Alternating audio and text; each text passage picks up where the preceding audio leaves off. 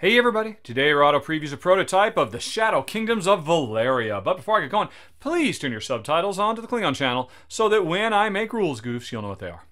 And if you've done that, then welcome to Valeria, or more importantly, the Shadow Kingdoms of Valeria, where we are going to be fighting to reclaim our lost homeland.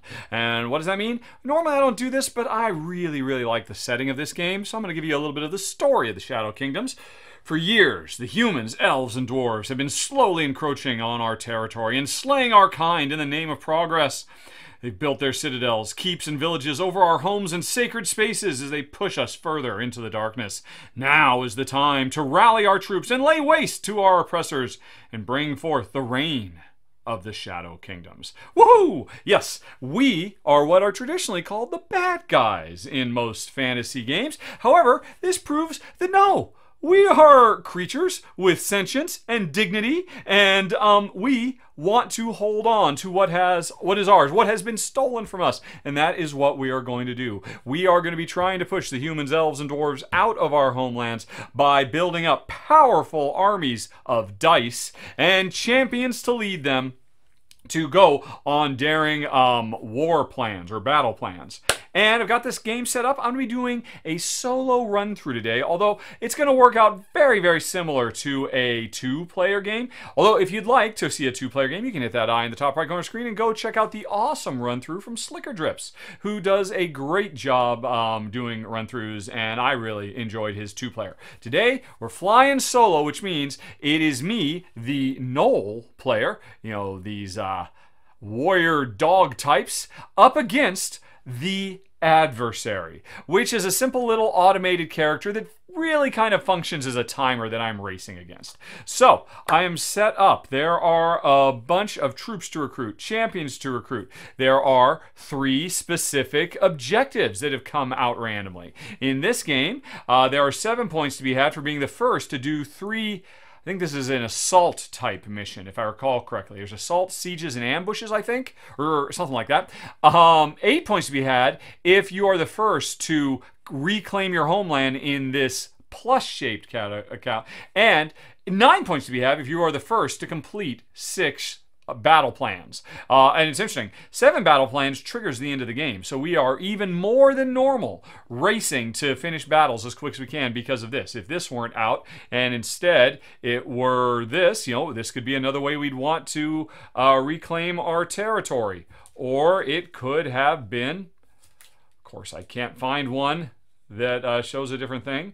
Uh, you know, to be the first to have five dice on have, five troops that we haven't sent to battle. So there's lots of different combinations of objectives from game to game. These are the three we are chasing after. Oops, and I forgot to reset. I start with zero points. The adversary starts with 10 gets the big leg up on me. Okay, so we are ready to go. I am the first player. How does it work? Well, this is basically kind of a worker placement game where I have one worker. This is my little, um, the Gnoll Marshal, the leader of the Gnoll forces. And folks, it's not going to be a cute little werewolf meeple in the shipping game. Everything you are seeing here today is prototype. If you want to see what the real pieces are going to look like, you can hit that eye up in the top right corner screen to go check out the Kickstarter page. I should say, on the topic of prototypes, this is a bright, vibrant, colorful game with art by the Mico, and you can certainly see the vibrancy here on the main board, but these sleeves are giving me a lot of glare. I tried to get rid of it. I couldn't quite get rid of it, but don't worry, the art on these cards is awesome as well. Wouldn't you want to have a juggernaut champion in your army. Look at that thing. Oh, yeah. I might recruit that juggernaut. Who knows? So, anyway, on your turn, you're going to take your little meeple and put it in one of the six available spaces. Now, you can't go stay where you were. So I'm in my home camp. I can't stay here. I have to go to one of these five shrines the gem, the magic, the champion shrine, the gold shrine, and the uh, tactics shrine, I think it is. And I'll do two things. Wherever I go, I will claim one of the dice that's there, and this represents me marshaling troops to uh, fight in any of these battles. Plus, I'll get to do whatever the action of this space is. And where am I going to go? I like champions. I want to recruit a champion. I'm going to come over here, and that means I, first of all, am going to claim either this level 3 goblin troop die or this level 1 undead. You can see uh, the game is very colorblind friendly because even if you can't tell the difference between red and green, they have a little goblin versus a little orc symbol on them. So anyway, I could recruit either of these two dice and these are multi-use dice. The big number tells me how much strength they'll have when I eventually send them into battle to fight back the humans and the dwarves and all of that. So that's really important. The bigger the number, the more potential points I could score. So in that regard, this one is implicitly better than this. However, this is only a useful die, because it's a goblin, if I plan on launching a war uh, plan that requires goblins, like, like this one. Bushwhacking the uh, Zafar's Oasis needs two orcs and a goblin, and that's an ambush. Um, but you know what? Of all of these particular missions that are available, I think I want to go after striking the Colosseum. It needs two undead and a gargoyle. You can see literally in the picture. But this is a, uh, again, I forget what it's called, an attack. Uh, what are they? Oh, that's driving me nuts. Clash. It's a clash. This is a clash type of war plan. And remember, there are points to be had for being the first player to do three clashes. This is the, we've got ambush, ambush, clash, ambush. It's all ambushes all the time. I want to complete this one. That means I need two undead and a gargoyle. I've just come over here. I'm going to recruit this undead, even though he is a wussy little die. He's only going to provide one strength in the coming battle when we try to strike the Colosseum. But that's okay um, because there's other good use I can put him to as well. I'll use him in the coming battle, but right now, each die has a number in the bottom left corner. That is the discount they will give me on the action I can do in the place where I recruited them. And the action in this area is recruit a champion. So this is going to give me, er, it's very weak in the fight, but very strong in discounts. Any of these champions that have an instant effect, they do one thing and then they're done. They never do anything else. They, by default, cost one buck. These ones that give me an ongoing ability cost three bucks. These ones that give me points at the end of the game cost six bucks. And I'm sitting on a five buck discount. So I, I mean, I don't, I, I don't want to waste it on these. I don't get any change back, so I should really use it to get the Seer, or the War Beast, or our friend, the Juggernaut, which is worth three bonus points at the end of the game for each of the big objectives that I do. The War Beast is worth two points for every champion I recruit that has a reusable. So if I get the War Beast, I'm probably going to want to spend the rest of my game recruiting from this row, the mid-cost ones. And the Seer gives me two points for every champion, period. Wow. Okay. So, well then, that Seer, who would be for every champion, is certainly better than the War Beast. Oh wait, derp, derp, derp. No, that's not for everyone. That's for every high level. So this would give me two points for every mid-level champion, two points for every high-level champion. High-level champions are expensive. I think I will go, oh, do I want that Juggernaut? That's six potential points if I can complete all three of these sub-objectives. Hmm, but will I pull them all off? Yeah, I mean, I said I love that Juggernaut. How could I say no to that big, lovable worm? Uh, he's going to join our forces. This is my first recruit. And because I used this die with the $5 discount, I go on ahead and I put this over here. You can see I can hold currently up to three dice in my own little area. I've recruited him, and he gets added to my army in this slot. Now this is a reminder right here that by default at the beginning of the game, I can only have three champions on the go. But later on I might upgrade so that I can have six or even 10 champions on the go. So this is an in-game thing. I even more than before want to complete all these objectives because it's three bonus points to me for every one. And remember, with my $5 discount, this $6 guy cost me one gold. Okay, I am done. And now, if I was playing with other players, they would take their little worker and they could go anywhere. They could even go where I am. You don't block other players in this game. It's a little bit different with the solo. The solo player, the adversary blocks me. I cannot move to wherever they are. But under normal circumstances, the players players don't block each other. So another player might come here and recruit. Oh, and by the way, who's the new champion that shows up? It's the strategist. Four points for every battle plan. Ooh. But if you look closely, that little dotted line means every battle plan that I've claimed but not actually finished yet. Hmm, I might want to recruit. Well, I mean, they're all good. It's just a question of uh, how much money do I have to recruit. Anyway, though, so my turn was I came here, I took a die, and I was able to use this discount to then hire somebody for less than I would normally go.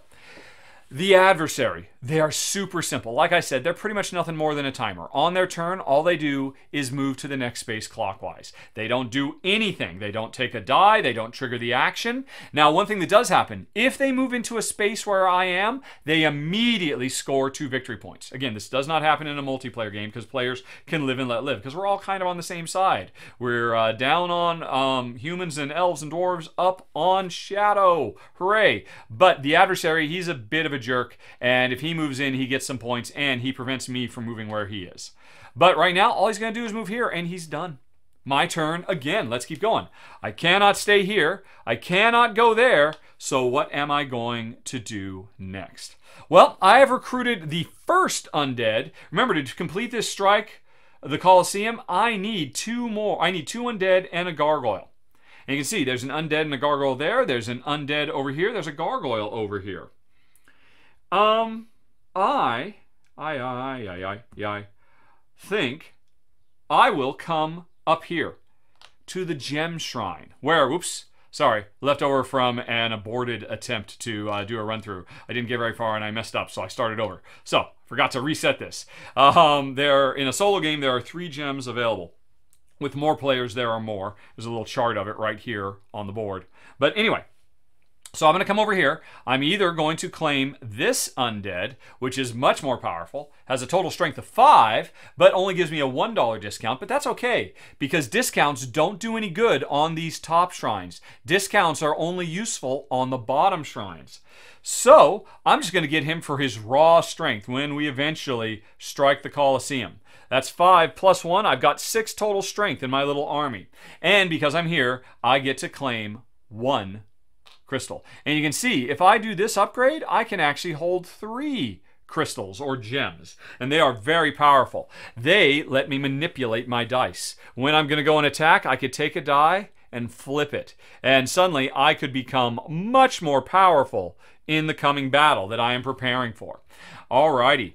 So, or also, a die I can spend a one of these gems to turn it into any color. So I could use this orc as an undead if I needed to, or what have you. Hmm. All right, but anyway, so I came over here. I'm done. I just grabbed a die. I did the action of the space. It is now the adversary. They're just going to move on ahead, thereby blocking me from coming. I would like to come back and get a champion because uh, I've still got plenty of money, but I can't. He's blocking. And again, no blocking in a multiplayer game. Any number of players can go to a given space. There's no tightening of the board that way. Back to me okay, I need a gargoyle, and once I've got a gargoyle, I can strike the Colosseum. There's a gargoyle here and a gargoyle here. If I come over here, I could get this level 4 gargoyle with a $2 discount. The strength and the discount pretty much always, um, you know, even out. Uh, you know, the, the two numbers. If it's a 4, it's a 2. It's a 5, it's a 1. If it's a 3, it's a 3, etc. So, I could get this. And that means my total strength is 9 plus 1 is 10. I'd have a, ra a raiding party of 10 for the mission I'm planning on doing. Hmm. Or, or, no, I'm not going to come here. I, I, I could get, if I come here though, I could either increase the amount of magic I have by two, magic can be used to change the value of my dice, to increase them when I go to war. Magic can also be used to change the champions or the battle plans that are available. If there's not one out that you would like to do, or there's one out that your opponent really wants to do, you can spend some magic and make those disappear and draw replacements. But I'm not doing that. I'm not coming over here to get magic. I'm going to come over here to the Tactics Shrine. I am going to get this uh, what do you call it? Uh, gargoyle, uh, which isn't very strong, but gives me a big discount. $4 off. And uh, that's going to be nice because as you can see, what I do if I come over here is I can reserve any one of these I want. Because there could be a case when you're playing against other human players where they are trying to beat you to the punch. You know, right now, if I were playing against human players, chances are somebody else would have already reserved this because we could all see how valuable clash-based uh, missions are. Somebody would have snagged this because everybody would want to be the first to get that and score seven as opposed to five, as opposed to less and less. So, um, but to reserve costs three gold. However, I have a $4 discount, so I could reserve this right now for free. Here's the deal though. I'm not playing against a human player. I'm playing against the AI. And the AI, whenever they complete a mission, which is going to happen in two more turns. First he'll move here and then he'll move here. The only thing he ever does is once he does a full circuit to all the shrines, he takes out whatever is at the top. And the more dice it needs, he never collects dice or anything. It's just assumed once he's made his way all the way around, he can he can do whatever is up here. He will score more points the uh, more elaborate it is. So I don't want him to take that one. I would like him to do a, a smaller one. So the nice thing is, me coming over here, if I if I claim this, these are going to slide down and a new one will come out. And so I could claim this one, but I'm already planning on doing that one. Do I want to claim something else?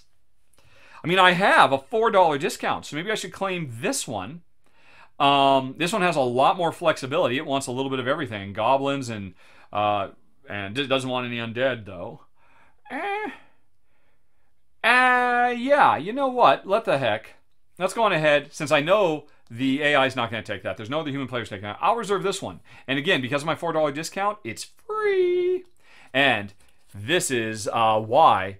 There's two reasons why you would choose to reserve waylaying uh, the Bogatyr. One of them is to keep another player from grabbing it in case you know you knew there was a lot of attention for it. And then the other one is up here on my player board. I have three slots, although two of them are locked, that I can reserve a battle plan. I'm going to reserve this battle plan here, which didn't cost me anything because of my huge discount. When I reserve something into this slot, if I pay $1, I can increase my influence by one. And that is a huge deal. Money and magic, they come and go. You, you earn it, you spend it. The, as your influence increases, it never drops. So it is definitely worth increasing it every chance you get.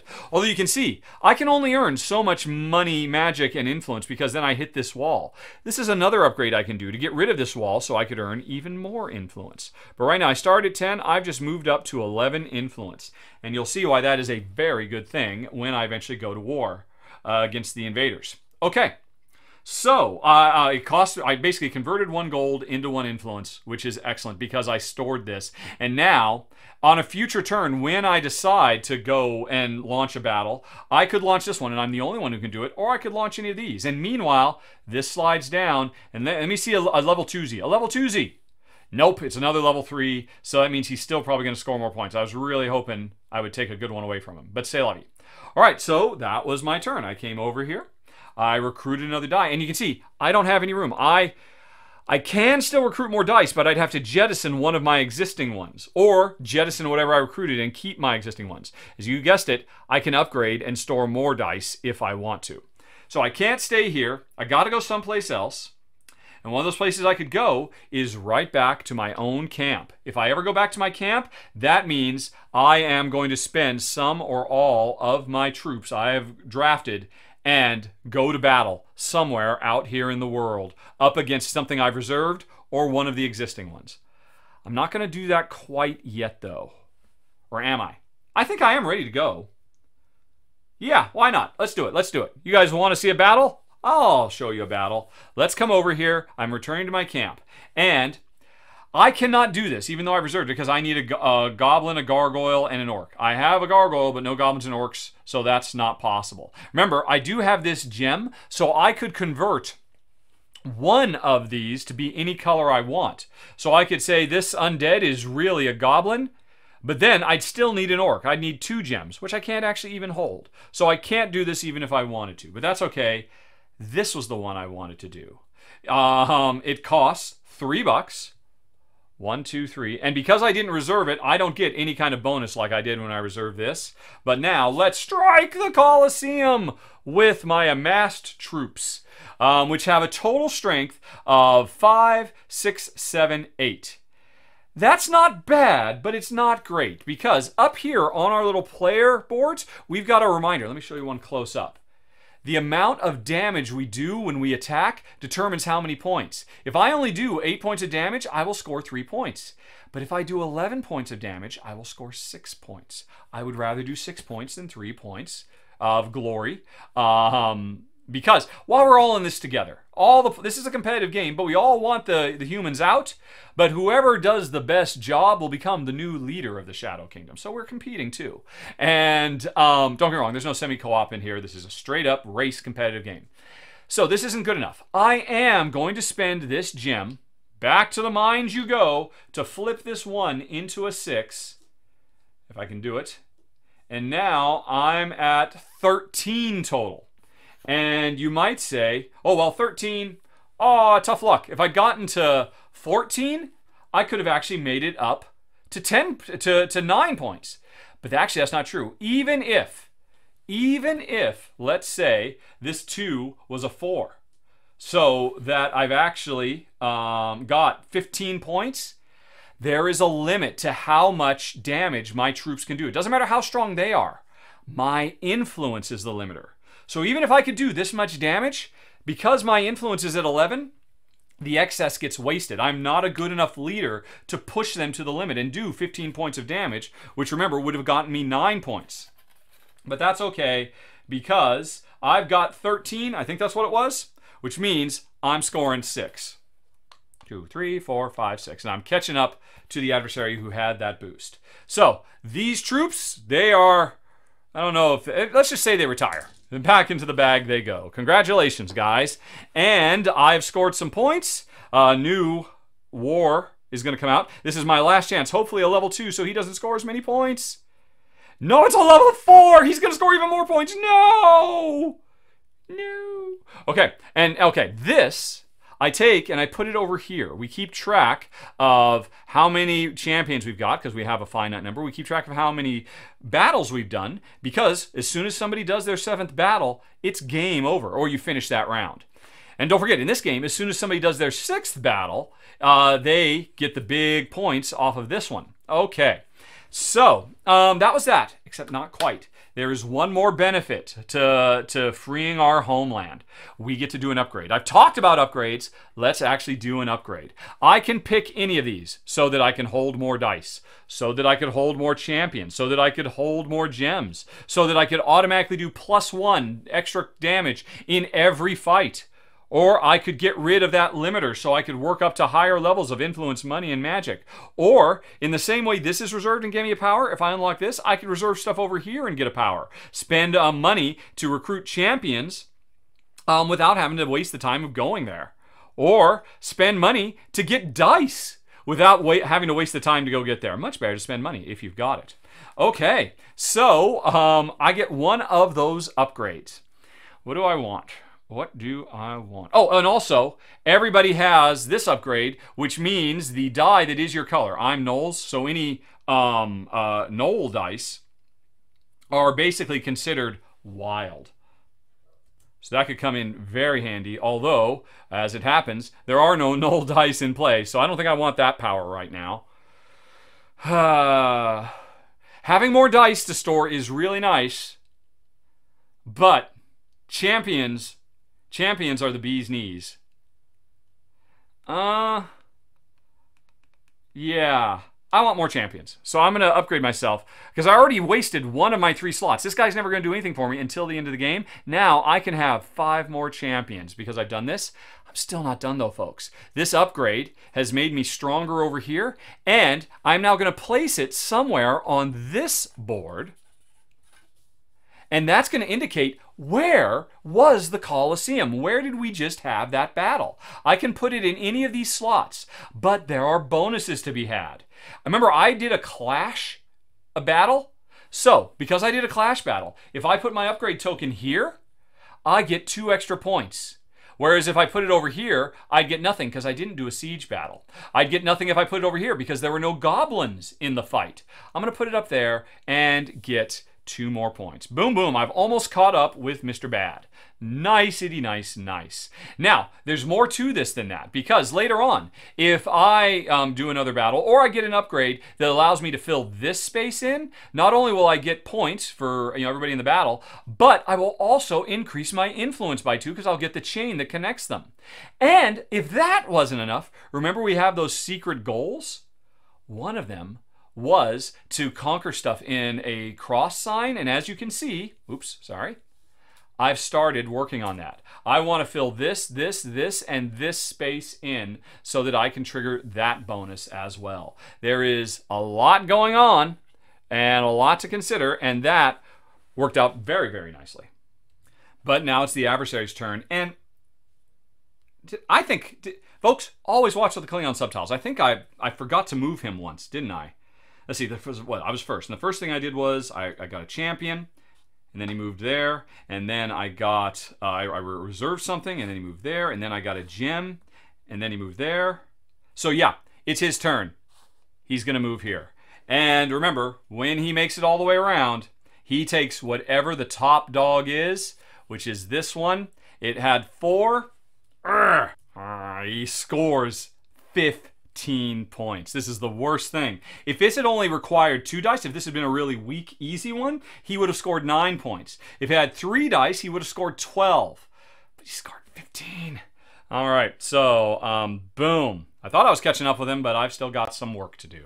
All right, so that's that. And now he's blocking this space, and it's my turn again. And I am almost broke. I have one buck. But I would like to recruit some more stuff, especially since I got more. So let's come back on over here. Let's grab this die. It's a goblin, which gives me a $3 discount. So I'm probably going to recruit one of these guys for free. And I've got a level 3 goblin, which means now I'm going to start... Oh, by the way, a new battle came out. Another level 4. I... My gosh, these are all ambushes! Where's the clash?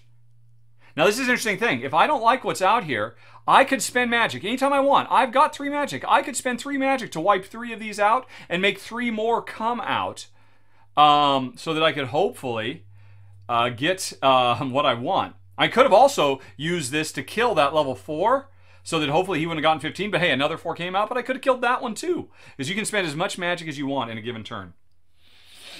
Drat, drat, drat. We'll worry about that in a second because I'm over here I've got a $3 discount, which means any of these, the Scout, the Oracle, or the Engineer, are free, free, free. So this says whenever I do a siege attack, I get plus two points. Mm.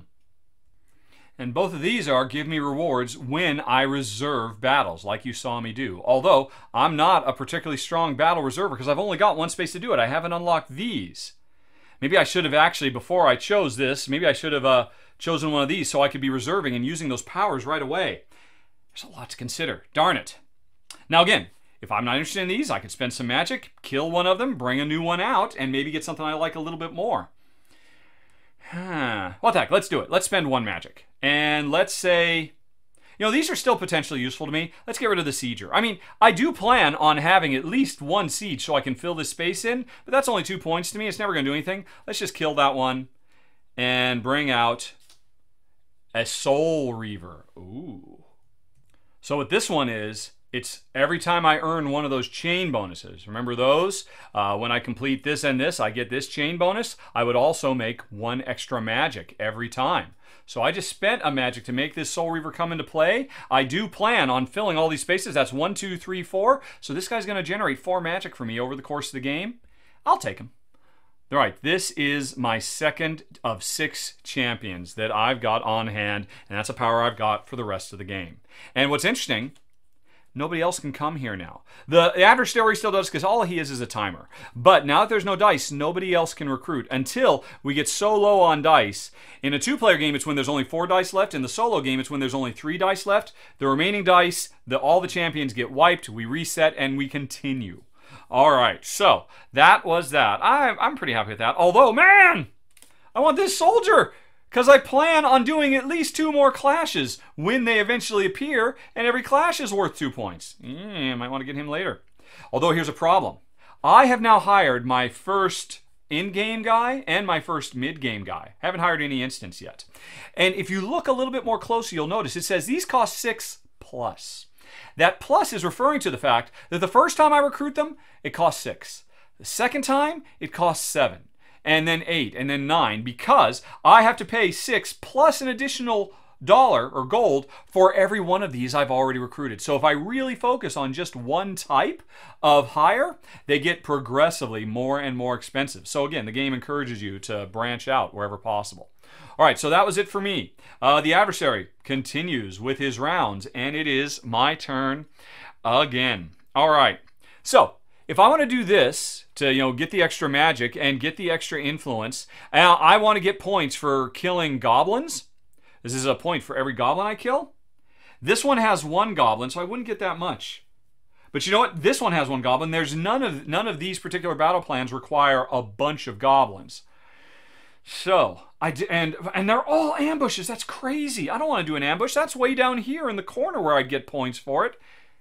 I mean, again, I don't have to. If I if I complete an ambush, I could still say, hey, I you know I'm not going to put it down here to get extra points. I'm going to do this because I want to unlock the chain. It's just I missed the opportunity. Uh, I might want to spend some magic. Well, hey, I don't want him to get a plus four either. So I definitely need to kill. But I mean, what else do I need? I've got a goblin. I need an orc, and I need a uh, uh, gargoyle. If I launch in this place, I get a point for every orc. If I do in this place, it's a point for every gar- gargoyle. So I should be doing this double orc or that. Oh, this would be perfect. Well, no. All right.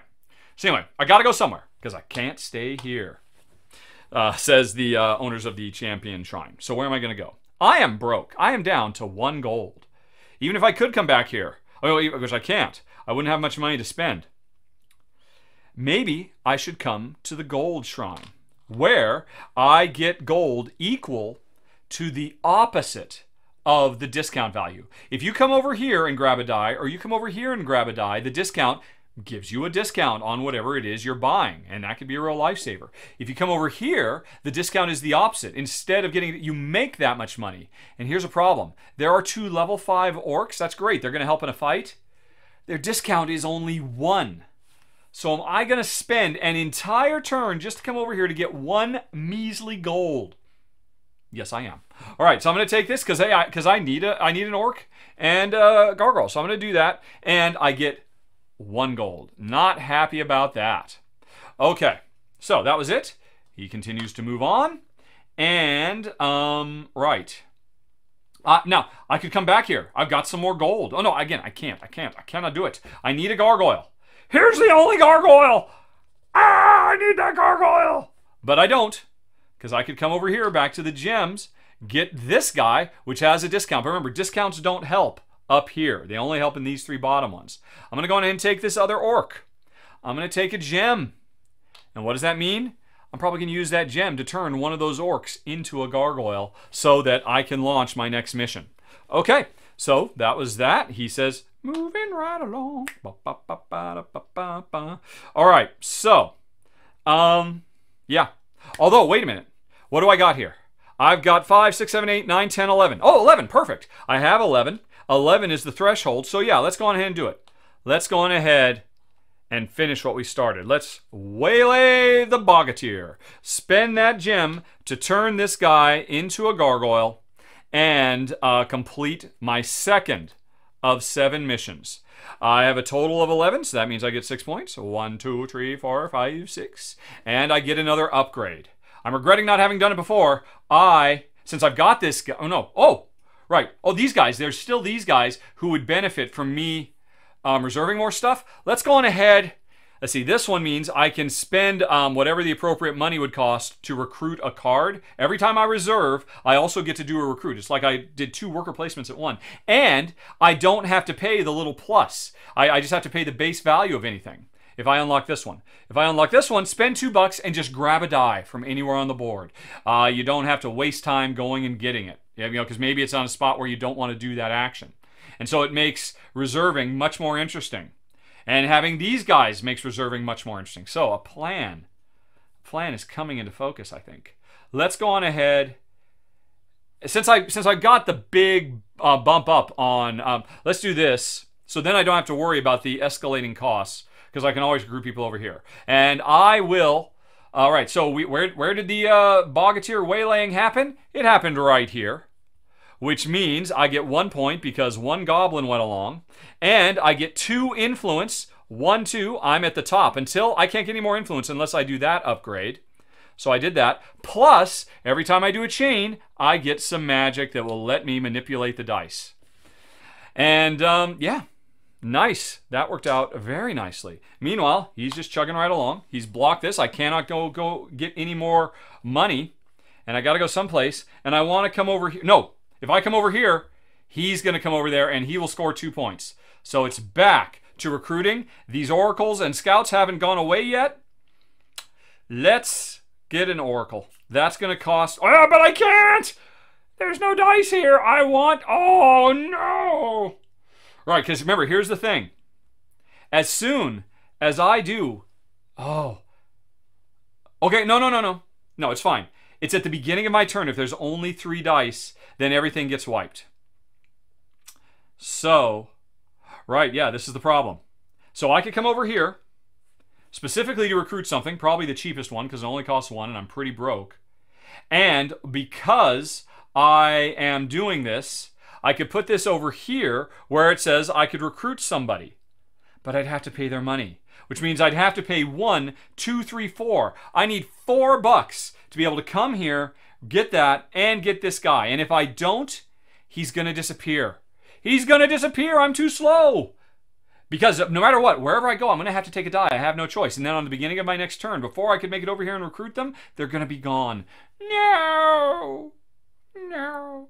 No, no. All right. Well, what do I want to do then? Let's come over here. Um, so I'm going to either get this level 4 or this level 2 zombie or this level 4 gargoyle. And I mean, I do want to do gargoyles over there. And I can't believe this. There are no clashes. And oh, there and this cheap one needs two gargoyles. This is a really quick one. I could get done really quick. So yeah, Let's go on ahead and take this level 4 Gargoyle. And his 2 discount doesn't matter because the discounts don't matter along the top. Boom. So I've done that, and now I could mark one of these as complete. And what does it mean to mark them? Take an upgrade and put it on there so I become more powerful and I mark that I get these points at the end of the game. However, I have not gotten three clashes or done this particular layout or done six. So instead, I'm just coming over here to get two magic so I'll have more control over my dice and, not for nothing, more. Oh! more control over the cards, and I'm going to use some of that. I don't want him to get another 15 points because there's another four sitting right there. I'm going to spend a magic and say bye-bye. Show me a two. It's a three. and it's three goblins! Ah, oh, but it's too late. I've already done that. Oh, all right. I'm going to say go again. Bye-bye. And it's a two. That's what I wanted. I, you know. And again, you might do this because there are, I mean, if I did... This was a clash as well, but he would have taken it. So, you know, if I did this and a clash came out, I might uh, destroy the thing I just brought out because I don't want other players to get it because we're all racing for that. I didn't want him to get it because it was worth more points to him. So anyway, I am done. I got some magic, and then ironically, I spent it all. Um, I got a decently powered die, and more importantly, I kept him from what he wants. And then he gets here and says, What? A measly level 2 job? Fine. I'll take my nine points. One, two, three, four, five, six, seven, eight, nine. Okay, so that was that. He's done. It is my turn. At the beginning of my turn, if there are three dice, remember this is only solo. In a four-player game, there has to be four dice left. There's um, three dice. They're gone. All of these are gone. They're actually supposed to go, if I recall correctly, into the bottom of their deck. So there's a chance they'll come back. Bye-bye, bye-bye, bye-bye, bye-bye, bye-bye. And actually, I was just tossing off to the side. I believe that's wrong. You're supposed to discard. You're, you're not. You're not supposed to discard them out of the game. They're just supposed to go back to the bottom of the deck so that everything has a chance to come back. So that's why you watch with those Klingon subtitles turned on. Am I right? You already knew that. So new champions. A thief. Oh, I like him. He just gives me six bucks. And he would only cost spend one buck to get six bucks? Yes, please. Although again, he only works once, and then he is forever clogging up one of the spaces for your champions. What else? Um, get a point and a uh, immediately reserve a battle plan. Get some magic and a gem. And then meanwhile, over here, the assassin. Um, anytime you do an ambush, score two points. Two points. No, no, that's not two points. Oh, Right, that means when doing uh, uh, uh, you know ambushes, you get plus two added to your total strength. And there's still nothing but ambushes over there. Um, every time you get a gem, get two bucks. Oh, I like that. I like that shaman. And, ooh, a miner, which gives me a discount every time I reserve. So remember, I had to pay full price. Now, with that discount, I would get a $2. Oh, wow, that's awesome. And then we've got the big hitters. We've got uh, the Myrmidian, a point. Ooh, a point for every skeleton that uh, helped in attacks. I've already done two skeletons. So if I have this, I really want to focus on war plans that have skeletons in them. Uh, three points for every gem you've got at the end of the game if you've got a witch doctor on hand. And a point for every magic up to 12 at the end of the game. So those are all very powerful too. You get one of those that really defines what you're all about. All right, so those came out. Oh, a new uh, mission came out. And it's a siege. It's not a clash, but hey, I would like to work on a siege because I want to do that. Hmm, interesting. So I might want to, I mean, although here's the problem. I don't want to spend five bucks to reserve it, but if I don't get it quick, he's going to take it for himself. Unless I reserve one of these, in which case it'll slide down and he won't want it anymore. Interesting. Yes, yes. Okay. So that was that. Oh, all right. We need new dice. Um, you know, the, the more players, the more dice go into each depot. In a, in a solo game, there's just two. In a two-player game, there is four, and so on. Here's a way to get money. Uh, not a very strong Gnoll force, but four bucks made over there. Nice. And... Alright, and now I'm free to go again. Except I can't go there because the adversary, not regular players, but the adversary blocks me. Um, oh, I do want that miner. I want this miner so I start getting discounts when I reserve stuff. Yeah. Oh. But I don't want to waste time coming over here to reserve stuff. Oh, that's it. Yeah, because. because if I come over here and reserve, then I spend the money to get the miner. So what came first? The uh, discount for actually reserving him or the reserving himself? Ooh, so I just came over, come over here and what am I planning on doing? I want to I want to bomb the Fort Araby. Although here's the thing, I can't do this even if I wanted. I can only hold three dice. I would have to get an upgrade to be able to hold four dice. Otherwise, this is an impossible mission. But it is a siege that is worth two more points to me, plus magic. Urgh! Oh, those are interesting options indeed. What to do, I am not sure. But folks, I think I'm going to stop right there because that should give you a pretty good idea of the flow of Shadow Kingdoms of Valeria. Now, if you want to hear some final thoughts, you can hit that eye in the top right corner screen or follow the show notes in five, four, three, two, one.